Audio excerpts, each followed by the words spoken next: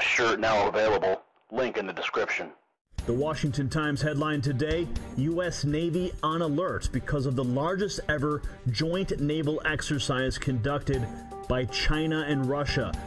Now, I've been covering the movement of the world's militaries for months now. It seems like every report leads with the same line largest ever. Personally, it concerns this reporter that every exercise is larger than the next. It's an international pissing match between world superpowers. So, in this report, we're going to take a look at what the Chinese media is saying about the Chinese Russian exercise, as well as the massive amount of U.S. hardware that's being shipped to the Black Sea.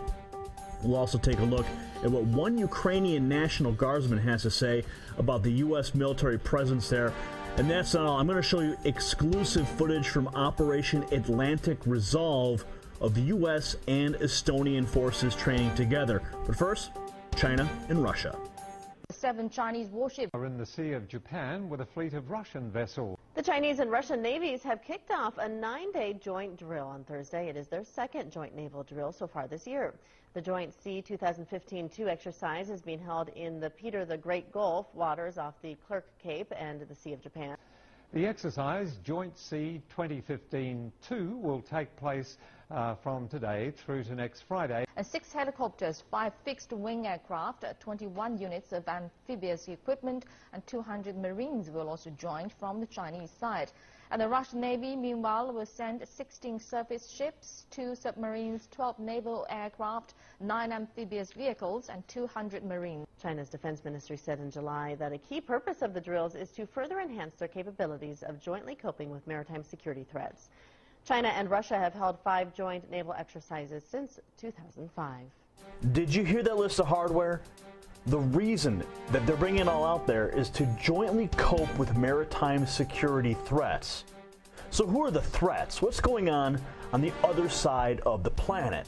Well, take a look at this. This is exclusive footage of 480 tons of United States military armored vehicles being shipped to Novoselo training area in Bulgaria. The combined arms company will be taking possession as part of the Black Sea Rotational Force for NATO. So what exactly are they shipping?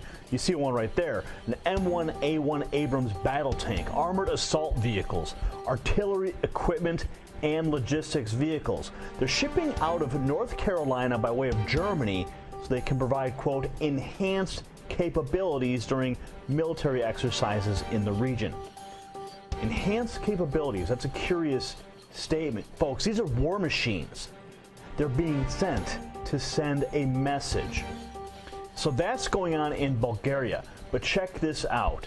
Exercise Fearless Guardian is underway, training soldiers of the Ukrainian National Guard.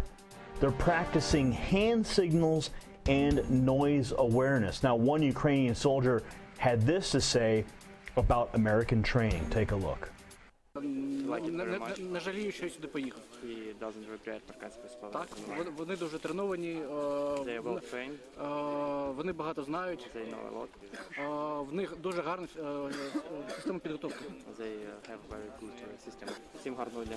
Ну, так, всім гарного дня та я хотів подякувати американським солдатам американського правительства, що вони зробили ці навчання. Ukrainian soldiers being trained by the United States. Now, the only reason is the threat posed from Russia, so they claim. Folks, our world leaders are not kidding around. There is a serious buildup occurring on a planetary scale. Every military drill is topping the next one. Every superpower is flexing their muscles. So let's jump over to Estonia now. Just a few days ago, soldiers from Destin and Hound Company from the 503rd Infantry were jumping out of helicopters alongside members of the Estonian Defense League. Estonia shares a border with Russia, folks. This is happening on Russia's back door. And uh, do you think they like it? I don't think they do. So, should we care? Should we care? Well, folks, Russia is responding in turn by partnering with China in the largest naval display ever. It's a ruthless cycle, tit for tat. Folks, the Cold War is alive and well, and no one's even talking about it while staring us all right in the face. So I ask you, what is the answer?